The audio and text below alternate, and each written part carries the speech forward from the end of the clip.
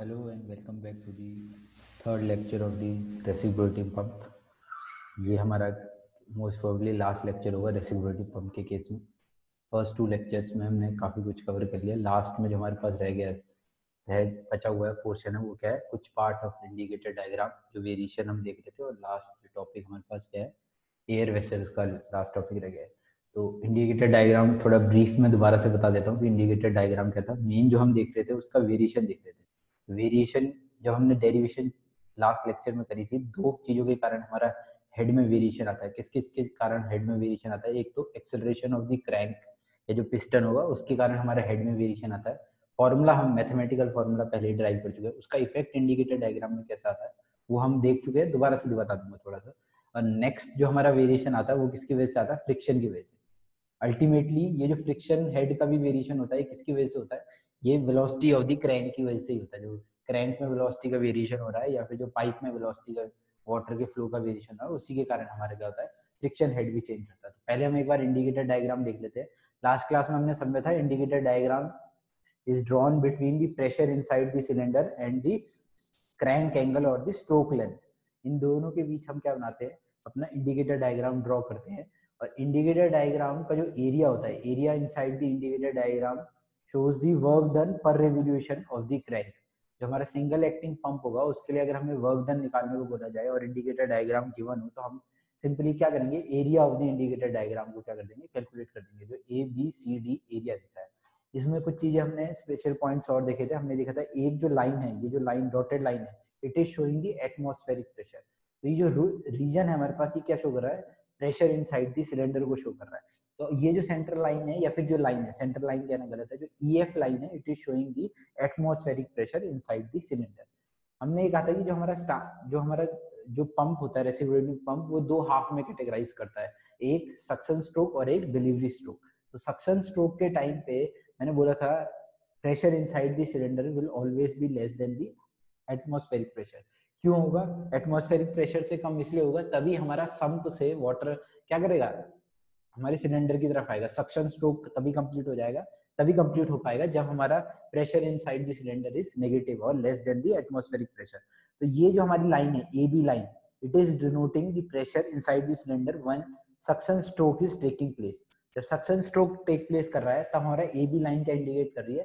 Pressure inside the cylinder तो ये pressure inside the cylinder को अगर हम देखेंगे it is less than the atmospheric pressure दिख रहा है हमारे, ये एटमॉस्फेरिक प्रेशर की लाइन है और ये ए बी की लाइन है। तो ऑब्वियसली ये प्रेशर क्या है? कम है less than the atmospheric pressure तो ये जो डिफरेंस बिटवीन दी देखो लास्ट लेक्चर में थोड़ा सा डायग्राम में मैंने एरो गलत बना दिया था, यहाँ पे ध्यान दो कि ये जो difference between the central line and the suction pressure when the suction stroke is taking place इन दोनों को हम क्या कहते हैं? सक्शन हेड कहते हैं।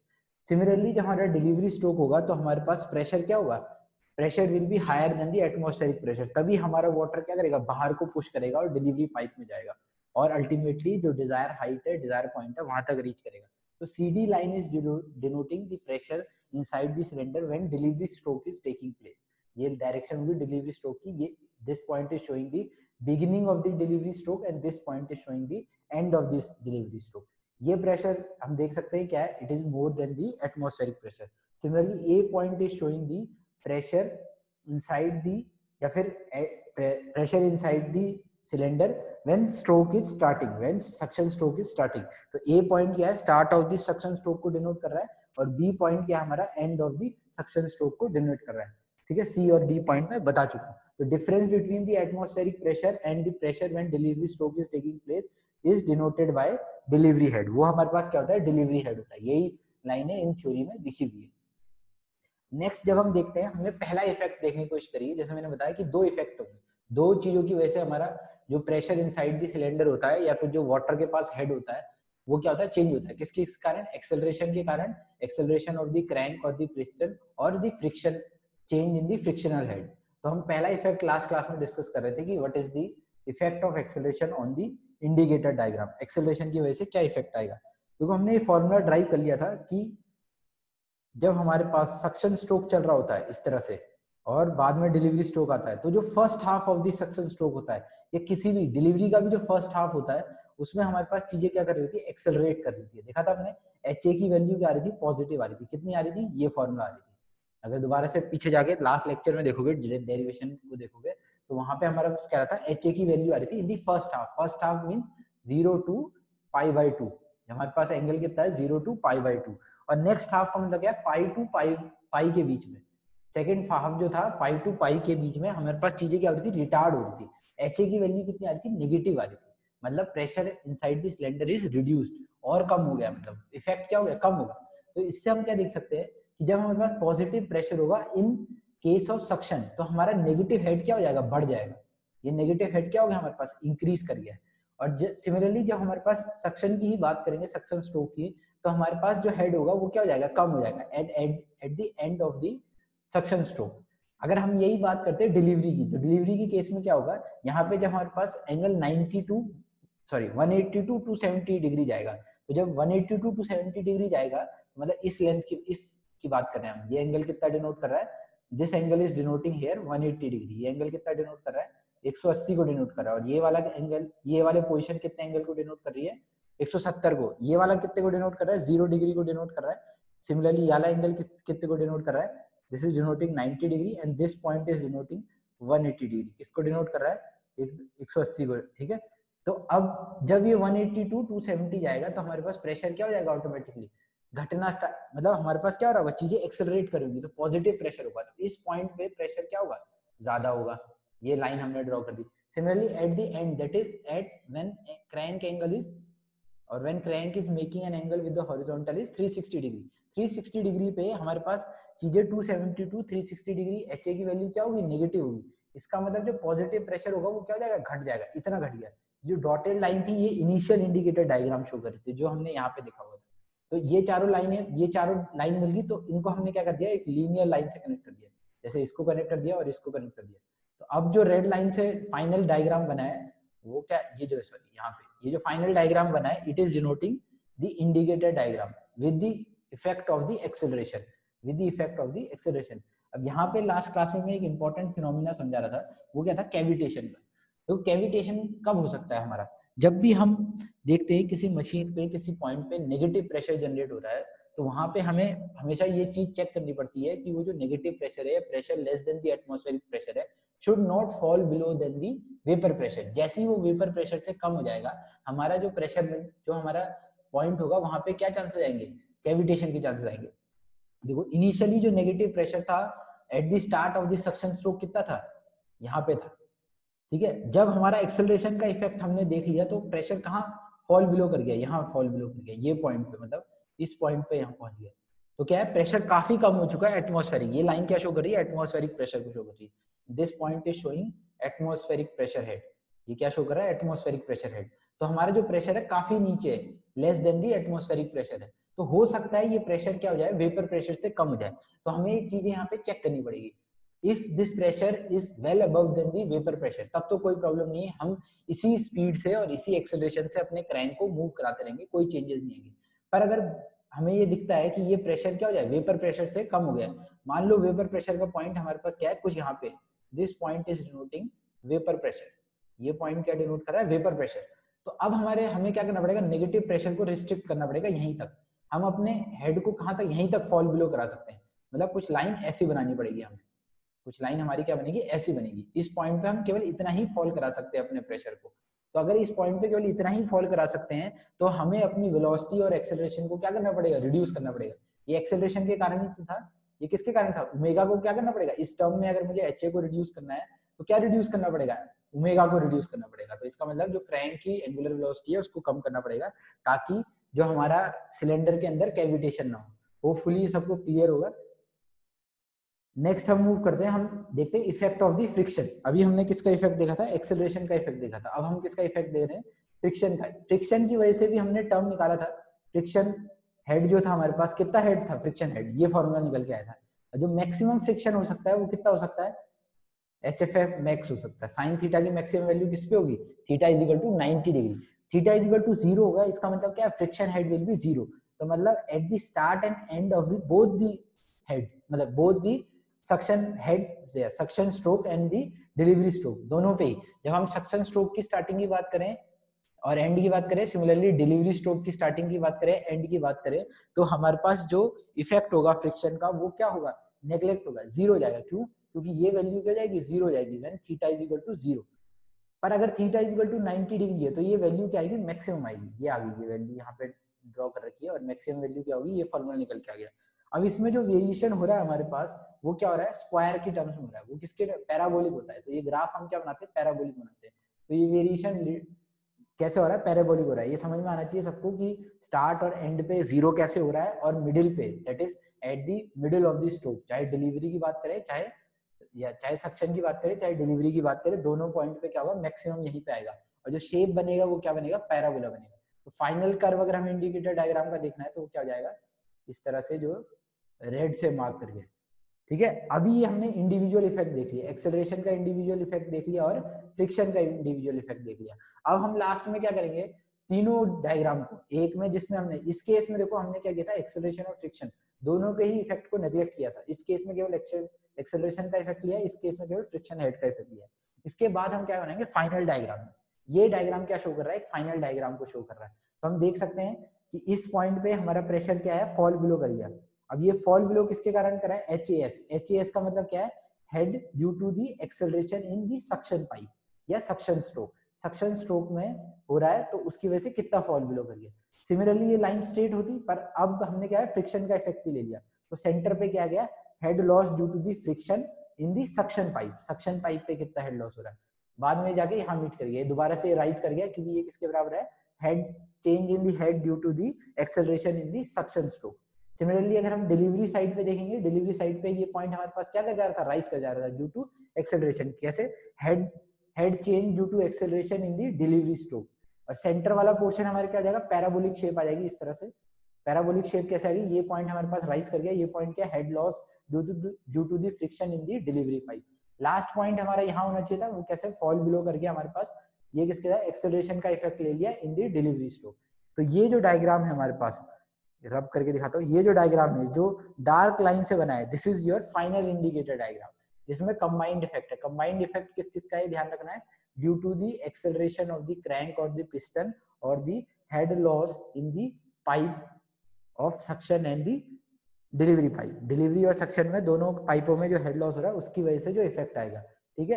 अगर इस नए डायग्राम का मैं एरिया निकालता हूँ तो ये ये जो एरिया होगा, ये क्या प्रोवाइड करेगा?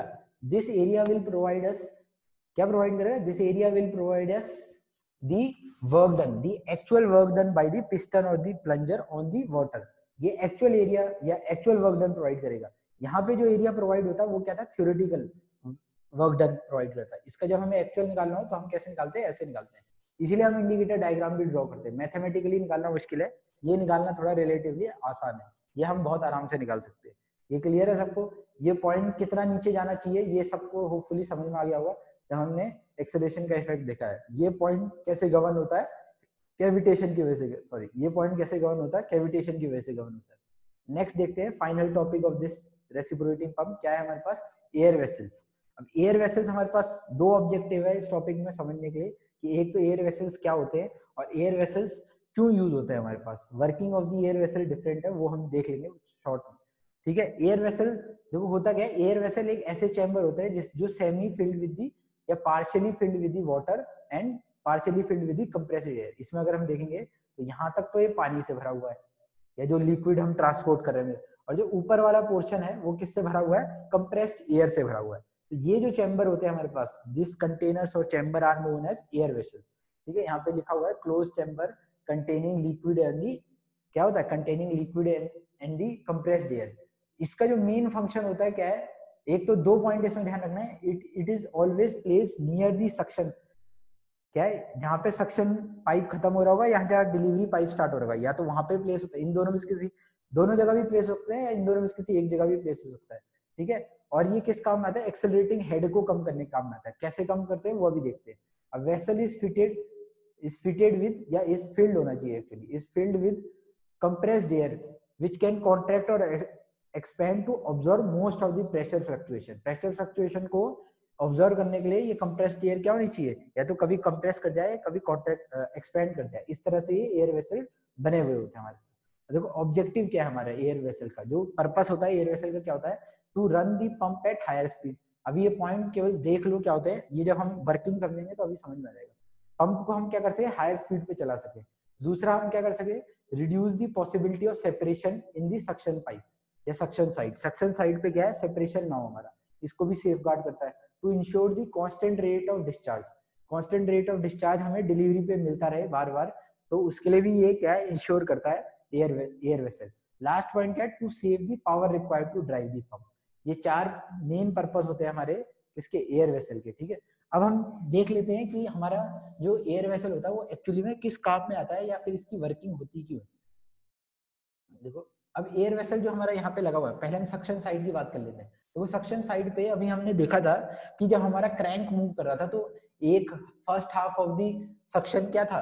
एक्सेलरेट कर रहा था वाटर और सेकंड हाफ़ में क्या कर रहा था? फॉल बिलो मतलब रिटार्ड कर रहा था। तो जब वो चीज़ एक्सेलरेट कर रही होगी तो इस पाइप में जो वेलोसिटी होगी it will be more than the average velocity किससे ज़्यादा होगी? एवरेज या मीन वेलोसिटी से ज़्यादा होगी वेलोसिटी ठीक है? और जब हमारा रिटार्ड कर रहा होगा फ्लूइड तो जो हमारी एवरेज वेलोसिटी जो वेलोसिटी होगी इस पाइप के अंदर it will be less than the average velocity तो ये जो फ्लक्चुएशन है, अब होता क्या है, जब अगर ये यहाँ पे मान लो एयर वेसल ना लगा होता तो ये कुछ, अब जैसे ये एक्सलरेट करता तो ये वाटर क्या होता डिमांड बढ़ती जाती। तो ये धीरे धीरे वेलोसिटी क्या होती एवरेज वेलोसिटी से ज़्यादा निकल जाती। तो बार बार इस पाइप में क्या होता, जो क्वांटिटी ऑफ़ वाटर डिलीवर होता, वो क्या होता चेंज होता रहता। वैसे ही सेम जब रिटार्ड कर रहा होता तो भी क्वांटिटी ऑफ़ वाटर क्या हो जाता है? चेंज हो जाता है हमारे पास। जो कि क्या होता है? बेनिफिशियल नहीं होता हमारे पास। हमारे पाइप के लिए बेनिफिशियल नहीं होता है। तो हम क्या करते हैं? जो हमारा सिलेंडर होता है, उसी के पास में क्या लगाते हैं? एयर वेसल लगा लेते हैं। तो जब वो एक्सेलरेट कर रहा होगा मतलब एडिशनल वाटर की डिमांड कर रहा होगा तो एडिशनल वाटर कहाँ से चल जाएगा? यहाँ से चले जाएगा हमारे पास। इस पाइप में, इस लेंथ ऑफ़ द पाइप में that is pipe below the air vessel उससे नीचे वाले हिस्से में हमारे पास सेम पाइप जो वेलोसिटी होगी वो कितनी होगी? हमेशा मीन वेलोसिटी ही होगी। जो वेलोसिटी होगी वो कितनी होगी? केवल एवरेज वेलोसिटी ही होगी। इससे ऊपर जो एडिशनल वाटर चाहिए होगा वो कहाँ से आ जाएगा? एयर वेसल से आ जाएगा। सिमिलरली जब हमारे पास रिटार्ड हो रही होंगी चीज़ें तो जो एडिशनल वाटर होगा मतलब वो कहाँ चले जाएगा? इस पाइप से एंटर करके डायरेक्टली इसमें चले जाएगा। और जो मीन वाटर होगा वो कहाँ चले जाएगा? Velocity water with mean velocity कहाँ एंटर कर जाएगा? वो यहाँ एंटर कर ठीक है? तो जो पाइप का जो मोस्ट ऑफ़ द एरिया है, उसमें वेलोसिटी कितनी रहेगी? मीन वेलोसिटी रहेगी। तो जो चेंज आ रहा था फ्रिक्शन हेड जो फ्रिक्शन हेड का किस पे चेंज कर रहा था? वी स्क्वायर पे चेंज करता था वेलोसिटी के वेरिएशन पे। वो क्या हो जाएगा? चेंज नहीं करेगा, ठीक है? सेम मीन वेलोसिटी रहेगी तो फ्रिक्शन हेड ऑटोमेटिकली क्या हो जाएगा? कम हो जाएगा हमारे पास। तो हेड वेरिएशन ऑटोमेटिकली कम हो जाएगा। सेकंड चीज़ देखो एक्सेलरेशन के इफ़ेक्ट की वजह से दूसरी चीज़ क्या चेंज कर रही थी? यहाँ पे जो हमने चीज़ देखी थी।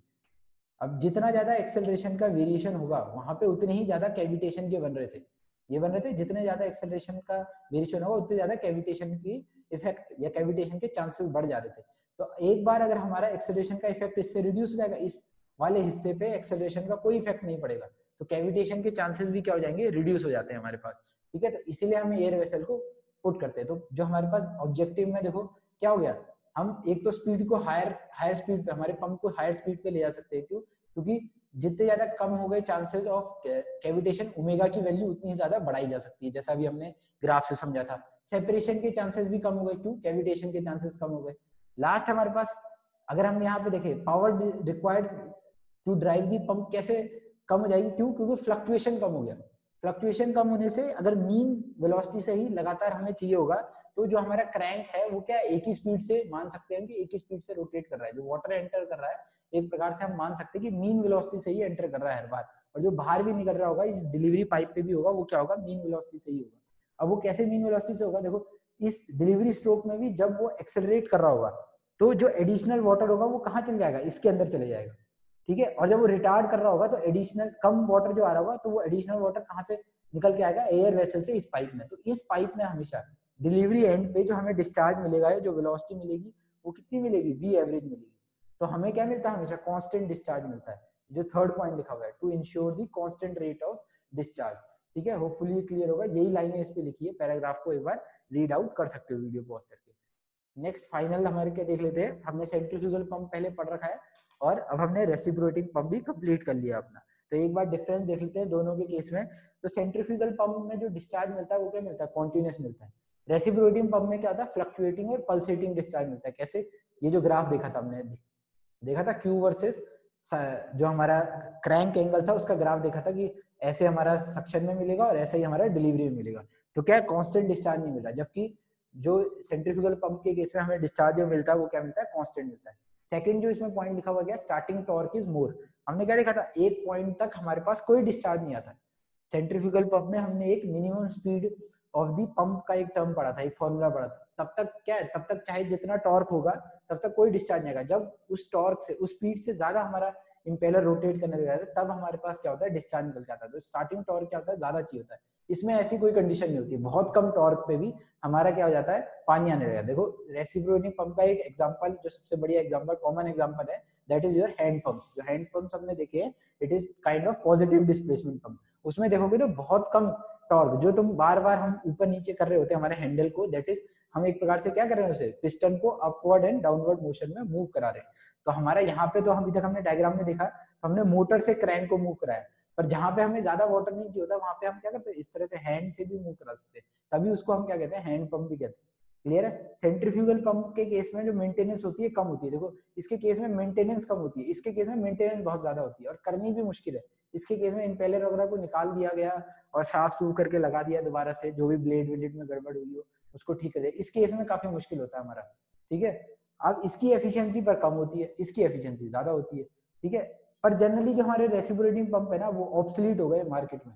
Obsolete in the sense factories वगैरह में कम यूज़ होते हैं। क्यों? क्योंकि इसमें जो डिस्चार्ज है ना, वो कम मिल रहा है और इसमें जो डिस्चार्ज मिलता है, वो कॉन्टिन्यूस डिस्चार्ज मिलता है इसीलिए। अब दूसरी दिक्कत, जो सबसे बड़ी दिक्कत आती है रेसिप्रोकेटिंग पंप में क्या है? वाटर हमेशा क्लीन होना चाहिए। सिलेंडर के अंदर एक बार बोल्डर चलेगा तो फंस जाएगा, बाहर नहीं आ पाएगा। जो बार बार जो स्मॉल स्मॉल पार्टिकल अगर इकट्ठे हो गए, वहाँ पे सेटल हो गए तो पिस्टन का एरिया वो ये जो सिलेंडर का एरिया वो क्या है? रिड्यूस कर देंगे। तो हमेशा जो रेसिप्रोकेटिंग पंप होता है, उसमें हमें वाटर चाहिए होता है, वो क्लीन चाहिए होता है। पर सेंट्रीफ्यूगल पंप के केस में हमने क्या देखा था? टाइप ऑफ़ इम्पेलर होते हैं। ओपन इम्पेलर सेमी ओपन और क्लोज इम्पेलर तो उसके हिसाब से हम इम्पेलर चेंज कर सकते हैं कि कैसा वाटर हमें ले जाना है। Viscous less viscous muddy water ले जाना है। लास्ट एंड फाइनल पॉइंट जो डिफरेंस सबसे बड़ा होता है, वो क्या होता है? सेंट्रीफ्यूगल पंप के केस में हमने प्राइमिंग का टॉपिक पढ़ा है कि हमें प्राइमिंग करनी पड़ेगी, तभी तभी वो क्या है, उतना हेड जनरेट कर पाएगा। और रेसिप्रोकेटिंग पंप में कोई ऐसी चीज़ नहीं होती प्राइमिंग इज़ नॉट रिक्वायर्ड ठीक है? तो this is whole complete package है किसका? पंप का। पंप में both type of pump pump we have studies that is positive displacement and rotodynamic pump अब रेसिप्रोकेटिंग पंप में देखो जनरली थ्योरी थ्योरेटिकल क्वेश्चन ही ज़्यादा आते हैं हमारे पास। जो इसमें न्यूमेरिकल पोर्शन आएगा, वो बहुत ईजी आता है। न्यूमेरिकल पोर्शन जनरली जो हमारे पास रहता है, वो कैसा रहता है कि जो फॉर्मूला बेस्ड होता है, जैसे थ्योरेटिकल डिस्चार्ज का फॉर्मूला हो थ्योरेटिकल डिस्चार्ज का क्या फॉर्मूला पड़ा था? थ्योरेटिकल डिस्चार्ज का फॉर्मूला में पड़ा है A L A L upon A L N upon sixty degree theoretical discharge निकाल के दिखा दो। ये सिंगल एक्टिंग के लिए डबल एक्टिंग के लिए इसे ट्वाइस कर देंगे हम। सिमिलरली स्लिप का क्वेश्चन आ जाता है कई बार। Calculate this slip if actual discharge is this theoretical discharge is this तो इस तरह के ही क्वेश्चन आते हैं जनरली ज़्यादा वेरिएशन होता नहीं या क्वेश्चन आ सकता है इंडिकेटर डायग्राम ड्रॉ कर दो। इंडिकेटर डायग्राम थोड़ा सा ध्यान से दोबारा पढ़ लेना। दोबारा से वीडियो पॉज करके दो तीन बार इंडिकेटर डायग्राम पढ़ना थोड़ा सा टफ है। उसे ज़रूरी इसलिए कि इंटरव्यू वगैरह के क्वेश्चन में कहीं पे जाओगे, कभी फेस करोगे तो वहाँ पे अगर रेसिप्रोटिंग टॉपिक रेसिप्रोटिंग पंप का अगर टॉपिक आता है तो वहाँ पे इंडिकेटर डायग्राम ज़रूर पूछा जाता है। क्योंकि वही बेसिक ऑफ़ जैसे हम कहते हैं जैसे मैंने बोला था सेंट्रीफ्यूगल पंप के केस में कैरेक्टरिस्टिक कर बहुत इंपॉर्टेंट होते हैं। वैसे रेसिप्रोटिंग पंप के केस में indicator diagram is very important ठीक है? होपफुली सबको समझ में आएगा तो thank you for watching the video